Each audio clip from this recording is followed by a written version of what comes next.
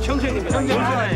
형제입니다 이게. 아닙니다. 그러고 빨간선이 없고 그거는 완전 흰색이고요. 소속 초등학교. 아니 그러니까 그 당시 학생은 다 성수초등학교 다섯 다 다녔는데 예. 혹시 형제 중에 아니요. 아, 이거 한 번이죠. 신발은 누가 영규 교실에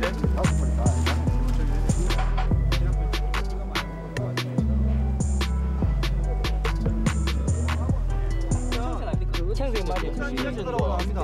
청색 처리 아리오로 볼때 내가 마침 운동하러 사줬어요.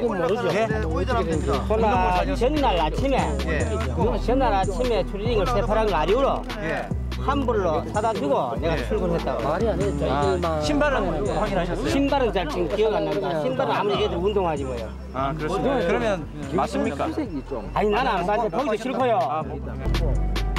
这个游泳池